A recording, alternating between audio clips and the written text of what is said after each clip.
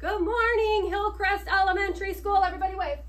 Good morning. Good morning. So, Hope you like this song. oh, good. So listen, first grade, our first day back, they're in my music room and they're ready to lead you all in worship. It's a rainy, rainy, stormy day, and we thought this might be a little bit better watching it in class than trying to all walk up in the wet, wet, wet rain. Okay, so we're gonna pray and then we're gonna go ahead and um, start our worship.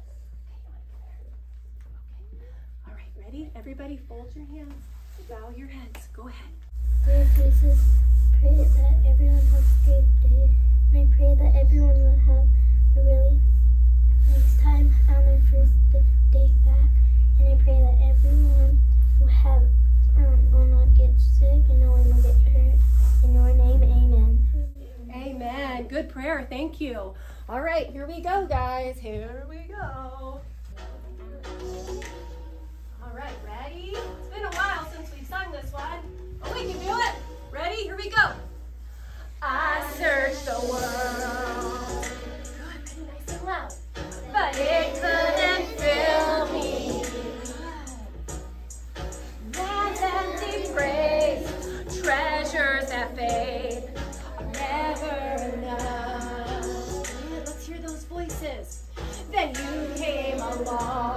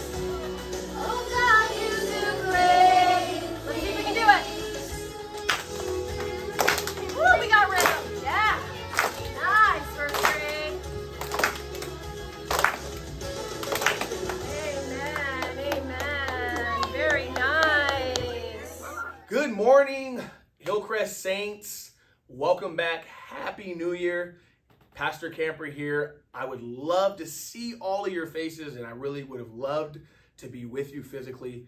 But our blessed rainfall has prevented that from happening. But I thank God for our technology. And so we're together in spirit. So it is a new year, but we still serve the same God. And new year, but same goal that we may know him, Jesus. Jesus prayed that this is eternal life, that we may know you, the only true God, and your Son, whom you have sent. And so I'm delighted. Uh, I love chapel days. I love Thursdays of chapel days. And as you know, chapel time is a time where we intentionally set time aside to seek the Lord together, where we pray, we worship, we fellowship, and we go over the Word of God, the living, breathing Word of God. And so I'm so excited. I know we just finished our worship. So I'm just going to pray for the Word, and then we're going to get into it. So let's bow our heads and our hearts.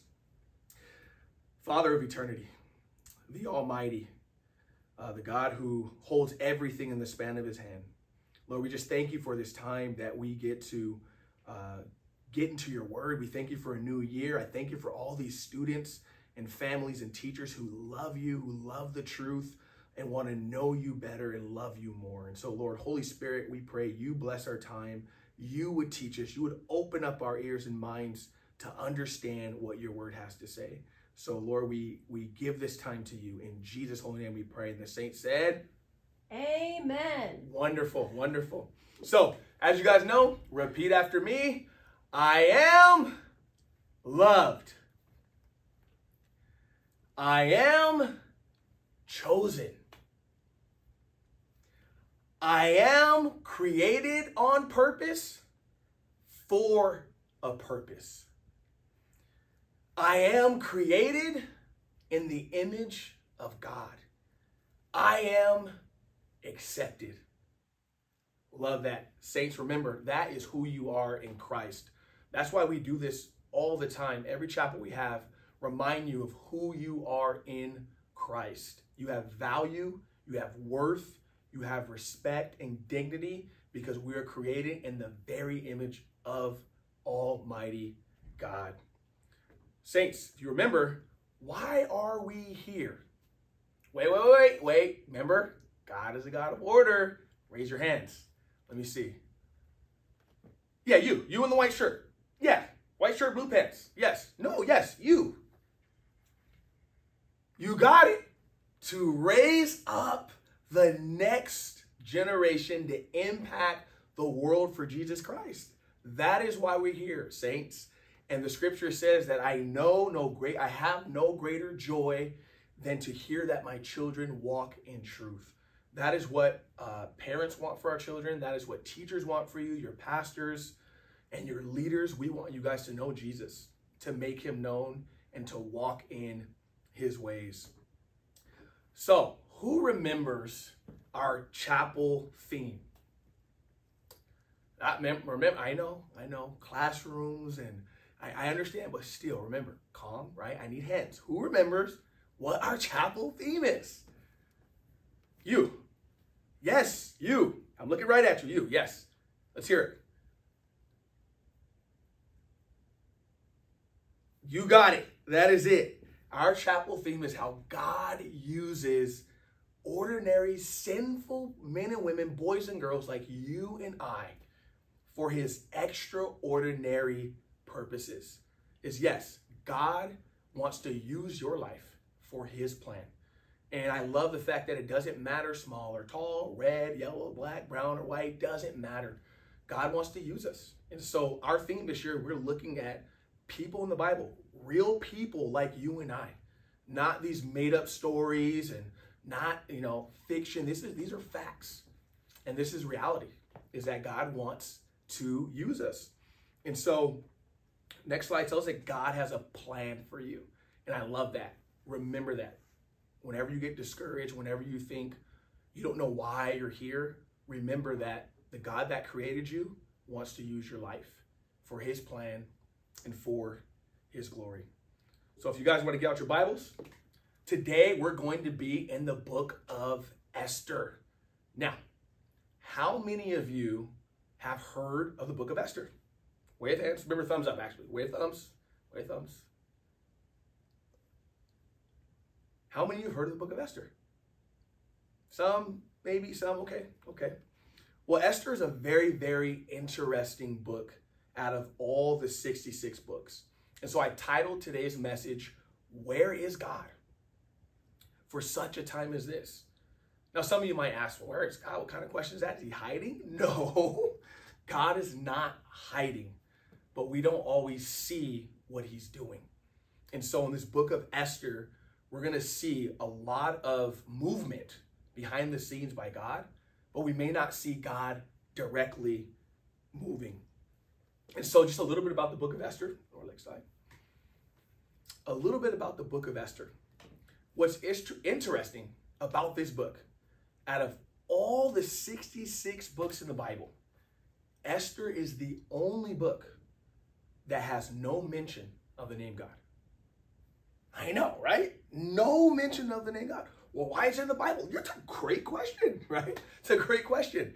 Also, there's no mention of prayer. There's there's there's no mention of the Mosaic law. There, there's no mention of fellowship or church or anything like that. There's no direct mention of the miraculous work of God. Right? And so one would ask, why is this in the Bible?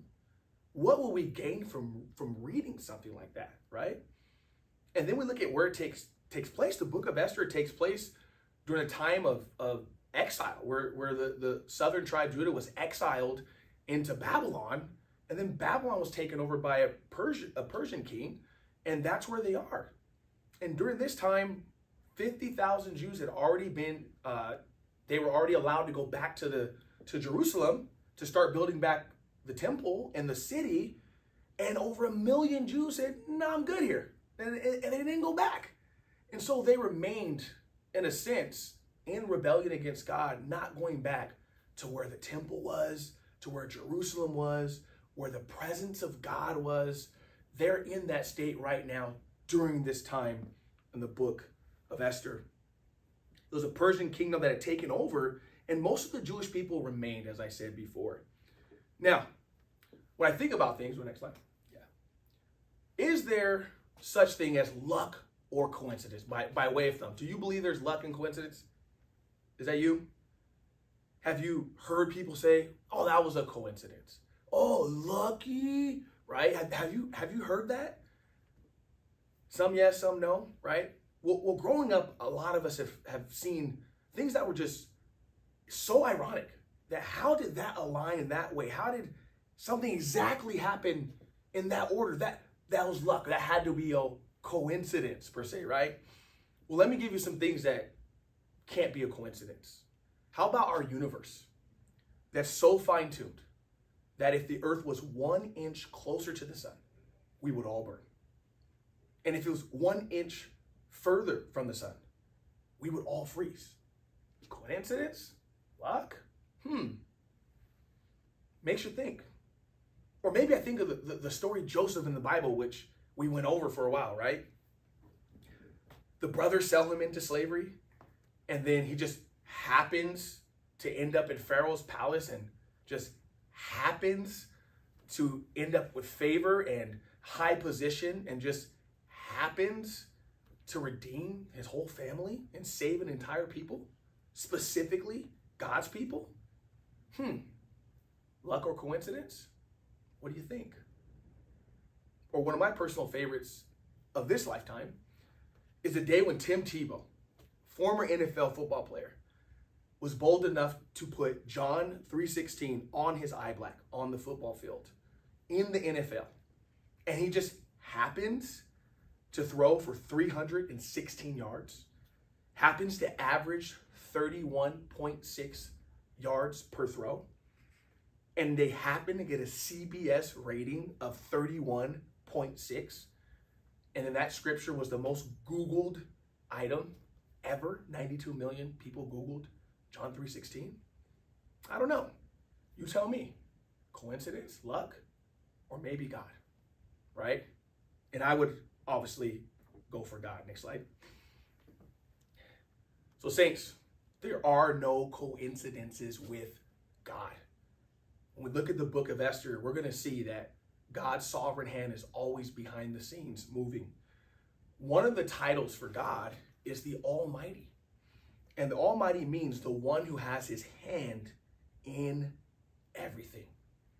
So think about that carefully. Think about it. Everything that happens around us in your life, in my life, in the classroom, pay attention, pay attention, in the classroom, right? On the playground, okay? God's hand is everywhere. And while some would say that everything happens for a reason, I would simply say that God has a reason to use everything that happens because we still have free will. I can choose to not go here or not go there. I can choose to listen to my teachers or my parents, right? But either way, God will use it because he has a reason to use it. Next slide. So question, saints. I know you guys love questions. As we get, get ready to get to the book of Esther, I have some questions for you. Have you ever felt like God isn't here? Thumbs up if you have. I have. Right? Have you had moments or seasons or maybe even circumstances where you wonder, where is God? I mean, think about it, saints. All the things that go on in our world, all the things that maybe go on in our households and at school and the teacher's not looking, hmm, right? Where is God in all this? God is good, right? But all the things that go on, where is God? It seems as if he's maybe absent, right? Well, saints, we're going to learn about a special characteristic of God. Next slide. And it's called God's providence. It's called God's providence. And so I like to to char- to say uh, define it as God's invisible hand working behind the scenes to bring about His intended purpose. Okay, I'll say that again. You guys say it with me. Ready? All right. Deep breath. La la la la. Right, get, get your vocals ready. God's invisible hand working behind the scenes to bring about his intended purpose. Right? So, just a quick example uh, Joseph is a wonderful story. So is Moses um, in a lot of our lives. But think about Joseph's story really carefully. Is that Joseph has dreams about the future. He tells his dreams. His brother, his brothers get angry and envious. And then they sell him into slavery. And he ends up in Pharaoh's house. Not as a slave out doing hard labor, but in the actual house of Pharaoh. And then he gets exalted because God had favor into a very high position. And then he ends up being betrayed by Potiphar's wife and ends up in jail and gets exalted again in a very high position and has a gift of interpreting dreams. And then he ends up in a high position again to where he's in a position to redeem his entire family. Now, you tell me, was that God's hand working behind the scenes to bring about his intended purpose? I don't know, something to think about, right? But we know that God is working. The scripture tells us in Romans 8:28. And I don't know if you guys memorize verses. I would encourage you highlight this in your Bible, write it right here in your heart. But it tells us that God works all things together for good for those who love God and are called according to his purpose. And so God makes everything come together good, bad, confusing, indifferent, things you don't care about. He works it all together for the good. And what was interesting about this book of Esther is while there's no mention of the name of God, there's no mention of the name of Jehovah at all, prayer or anything like that. The Jewish rabbis have actually found the name Jehovah hidden in five different verses in the Hebrew language, right? That is extremely fascinating. But if we know our God, we know he's never really out of the picture. Next slide. So now we're going to go into our, our biblical characters. So what I like to remind you is when we read the Bible, the Bible's historical. Okay? What that means is that there's people, places, things, and events. These are real stories about real people, about a real God that lives and breathes among us. And so some of our biblical characters today, one is King Xerxes, Ahasuerus, which is the Persian ruler. He's a real person, a real historical person. Um, and he actually is over the province during this time in the book of Esther. Then we have a man by the name of Mordecai. Okay? Mordecai was a Jew. He was one of the captives of Judah when they got taken into captivity originally in Babylon. He's the cousin of Esther who adopted Esther after her parents passed away. And some believe he may have even held a, off, a high, a small office within the king's palace. Esther, the main character of the book, really the main character is God, but Esther's who God uses, right? Her name actually means star. Some believe it's a Persian name, uh, but I believe God uses her as the star of the story. But she was also a captive of Judah, and she was raised by Mordecai, who's her cousin, and she lost her parents. And so you can imagine, um, think about how she may have felt or, or what state of mind she may have been in during this time. She's away from her homeland, away from the presence of God, away from everything that she's known, away from a lot of her family. She's not in a familiar place. She's in a foreign land. She doesn't have her parents. And she's being raised by her cousin. And praise God for that. And so some of us right now, we're, we're in that place. Some of you right now are, are not in a familiar place. Um, maybe there's some conflict in your home or with people you love. And you're in a circumstance that you're looking for God. You don't feel him. You don't know where he is, right? And so a lot of us can really relate to Esther and her circumstance. And then we have this, this man, Haman, wicked Haman, right? So Haman was an Amalekite. And I'm not going to go into all the history because we don't have time, but the Amalekites hated the Jewish people. And Haman's family has a long standing history with uh, Israel, and they hated him. But Haman is a picture of Satan, he's a picture of the, the flesh. And the Bible says that the, the thief, which is the devil, he comes to kill, steal, and destroy. And we're going to see that as we intertwine this story together. So those are our main characters, and I think it's important that we we really realize that these are real people. This is not just a story where we, we, we like the drama and we like what it says and we follow it, but these are real people uh, in a historical account. So let's look at our text. So first, we're gonna, you know, the title of the message again is "Where is God?" For such a time as this, and we remember that God's name is not uh, blatantly mentioned in here, but we see God's hand constantly moving. And so, just to catch us up, is that in this story, uh, Esther, who is Mordecai's cousin, Mordecai tells Esther, "Don't let them know you are Jewish. Don't let them know you are Jews." And this is the king and all his his people in the palace.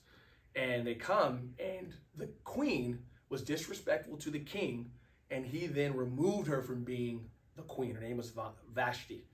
And so now Esther is actually going to be put in a position where she can petition to be the queen, right? So, so imagine that. You have this once in a lifetime opportunity after all you've been through in your life, after uh, being out of your homeland, being out of the presence of Almighty God, being in an unfamiliar territory. Somehow, luck, coincidence, hmm, you get put in a position where you have an opportunity to be the queen. Hmm, interesting. So here's what our text says. Let's read it. This is Esther chapter 2, 15 through 18. Esther was the daughter of Abihail, who was Mordecai's uncle. Mordecai had adopted his younger cousin Esther. When it was Esther's turn to go to the king, she accepted the advice of Hegai, the eunuch in charge of the harem. She asked for nothing except what he suggested, and she was admired by everyone who saw her. Verse 16 Esther was taken to the king, King Xerxes, at the royal palace in early winter of the seventh year of his reign. And the king loved Esther more than any other young woman. he was so delighted with her that he set the royal crown on her head and declared her queen instead of Vashti. To celebrate the occasion, he gave a great banquet in Esther's honor for all his nobles and officials, declaring a public holiday for the provinces and giving generous gifts to everyone. So, what happened? Right, next slide. So, what happened? Well, ancient history actually tells us that, that were, there were over 400 women who were involved in petitioning to be the queen. And it was a year long process, and it was about preparing to come before the king and present yourself.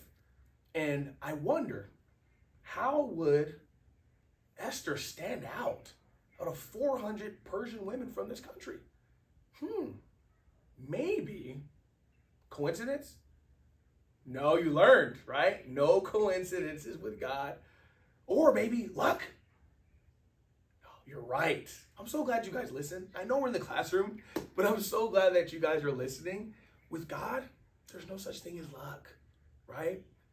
Surely, saints, I assure you that her being chosen over 400 women is the hand of God.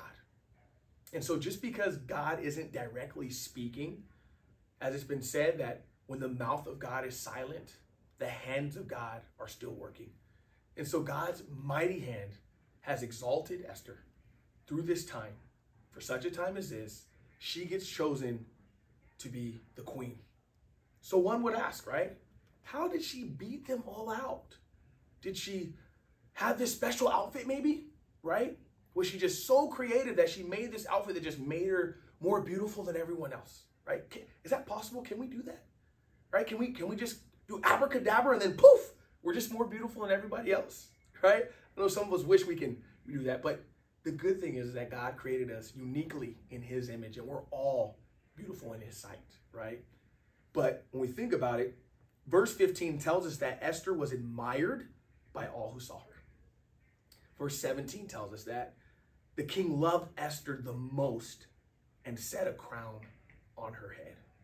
And so there's some some New Testament implications here is that God loves us the most, right? Out of all creation. He wants us. We are his sons and his daughters if we've given our life to Jesus, right? And we see this picture here uh, of this pagan king crowning a daughter of God, beating everyone else out, right? But this reminds me also of Joseph and Moses and Daniel. Daniel in Babylon got the favor of God, the hand of God, in a high position and still honored God in that high position. The difference here is that God isn't directly mentioned as the source of their favor. But I want you guys to imagine. Think about the circumstances. Think about what may be going on in her mind. For her to even step forward in faith and say, okay, I'll, I'll petition to be the queen. It's a big deal. The queen. That is a big deal.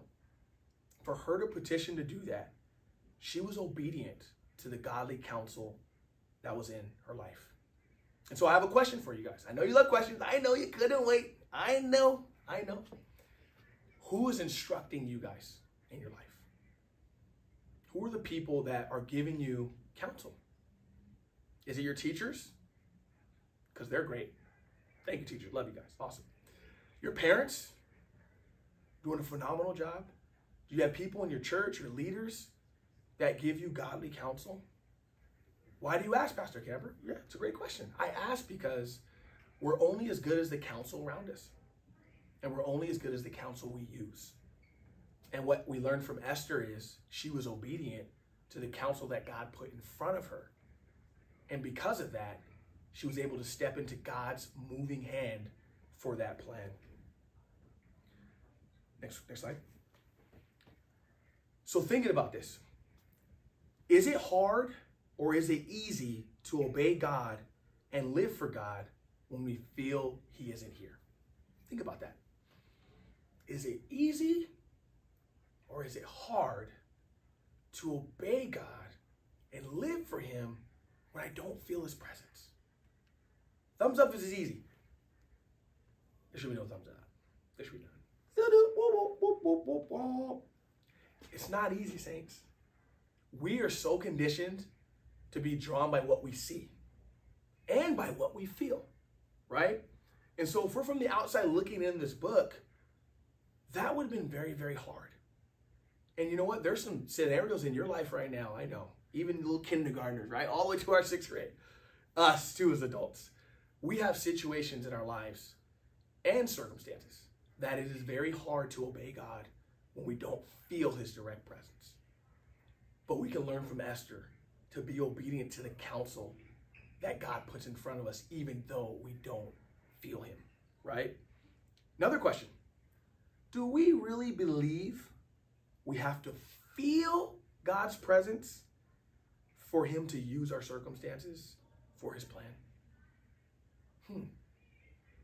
So if I don't feel his presence, maybe he can't use my circumstance. If I don't feel him or see him, does that mean he's not here? What do you think? Thumbs up if you think I, I have to feel him in order for that to happen. Thumbs up. Hmm, halfway, I'm not sure. I'm in between, right? Who answer to that is is obvious, I think, even though we feel a certain way. Whether we feel God or do not feel God, that doesn't make him disappear, right? If I haven't had an experience, direct experience with God, that doesn't make him not exist. And I promise you, whether you feel him or not, he's always present. Saints, God's word tells us that his plans for us are good in order to give us a future and a hope. And that's Jeremiah 29 11. And God is faithful to his promises, very faithful to his promises. So I have this quote on the right, and it says that God is always faithful to his promises, but he often surprises us in the way that he fulfills them. Right? So, can some of you think right now on in your life, just your little small span of life that you've had now on surprises that God has put in front of you? You, just didn't think he was going to do it that way? I know some of you are thinking, Hillcrest, right? You, you didn't know that's this is where you were going to end up. I know I didn't know this is where I was going to end up. God, you got me. You got me. God is always faithful to his promises, right? We, we don't have to doubt, even when we don't feel him. Now, really quick, why was being chosen queen so important? And so, oh, yeah, why was being chosen queen so important? Well, this Haman guy, right, who represents Satan, right, he's the enemy, he becomes upset with Mordecai because Mordecai will not bow to him. And then he makes a plot to kill all the Jews that are living in the province. And he gets favor with the king and he gives this plot to the king and says, they don't honor you, they don't worship you, they have this special law or whatnot. And so Mordecai makes this uh, this plan aware to Esther, and Esther's the queen. And so they had a law, the Persians had a law that you cannot approach the king. It's against the law to approach the king unless he asks for you. And so Mordecai goes to Esther and says, Look, for such a time as this, God has raised you up to go and use your position to save your people. And then Esther, faithfully, by the grace of God, says, I'll break the law. And if I perish, I perish. She knew there was a cost. And she was not afraid to be obedient to God to save her people. But, saints, without being in the position of queen, she would not have gotten that opportunity. We all have what we call, for such a time as this, moments in our life. And you're going to have them constantly. And the, the question is, are we paying attention? Are we going to be obedient to God? Are we going to honor and worship Him as He's called us to? And so I think of all the way from the beginning of the Bible, the enemy has been trying to destroy God's people. Cain killed Abel. Pharaoh tried to drown all of God's people. And now Haman is trying to destroy a million Jews in the province. And what happened when Cain killed Abel? God rose up Seth, right? What happened when Pharaoh tried to drown the Jewish people? God drowned him. And now that Haman's trying to destroy God's people, God raised up Esther. God is always working behind the scenes for you and for me. Next slide. And, saints, in conclusion, remember when the mouth of God is silent, the hand of God is still working. No matter how we feel, we can trust that God is working things together for our good. We are called to walk by faith and not by sight. And may we be aware of our for such a time moments because God uses our circumstances for his plan. And I'll leave off with this quote. What I have said, that I will bring about. What I have planned, that I will do. That is Isaiah 46 and 11. Until we meet again, I love you guys. Jesus loves me, this I know for the Bible tells me so. Let's worship.